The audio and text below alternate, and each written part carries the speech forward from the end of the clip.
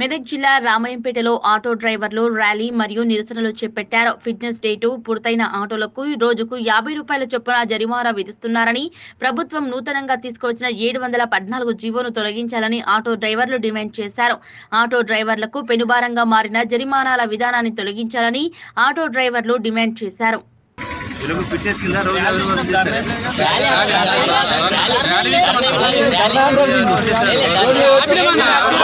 చేస్తారు.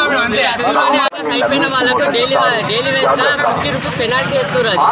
అది తీసేయాలని రద్దు చేయాలని మేము. డైలీ ఒక బండికి డైలీ యాభై.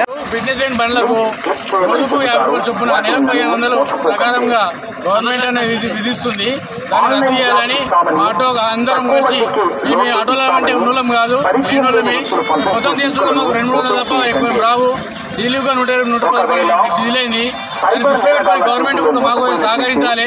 రోజు పదిహేను రోజు యాభై రూపాయలు అంటే నెల పదిహేను వందల రూపాయలు అవుతాయి నెల అంటే చాలా ఇబ్బందికరమైన పరిస్థితి. ఇప్పుడే ఇప్పుడే క్రిటికల్ ఉంది. ఇంతకుముందు కరోనా కరోనా- కరోనా వచ్చి ఆర్థిక ఆర్థిక కూరుకుపోయినాము ఇప్పుడు ఏడు వందల జీవో పట్టాలు రద్దు చేయాలి. ఎందుకంటే రోజువారీ యాభై రూపాయలు అంటే సగటు మనిషికి గిట్టుబాటు లేదు. మాకు అంత దందలేం కావు.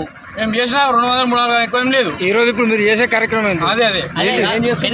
ఆ, రోజువారీకి యాభై? రూపాయలు. అయితే ట్రాఫిక్ ఇంకో కేసు కాదా? ధర్నా చేసే పద్ధతి